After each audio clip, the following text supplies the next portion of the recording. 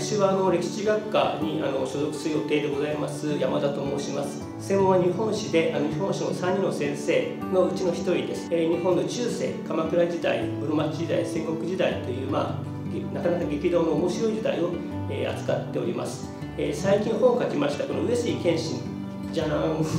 で ございます。あの戦国武将の人気投票でですね信長について第2位というですねあの人気者でございまして面白い人なのであの一冊本を書きました。もしも日本史中世などに関心のある方いらっしゃいましたらぜひ愛知大学歴史学科をチャレンジしてください。よろしくお願いします。2021年愛知大学文学部は歴史地理学科日本語日本文学科を新設し人文社会学科心理学科とともに4学科に生まれ変わります。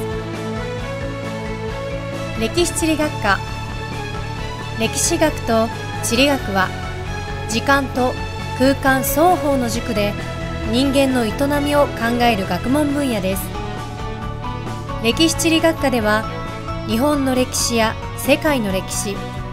地理学を総合的に学びます。日本語日本文学科日本語学日本文学日本語表現学を3本の柱として学ぶ学科です。日本語学や日本文学の根幹をなす日本語の言葉や表現。外側から見た日本語教育からの視点を取り入れて多角的にアプローチしていきます。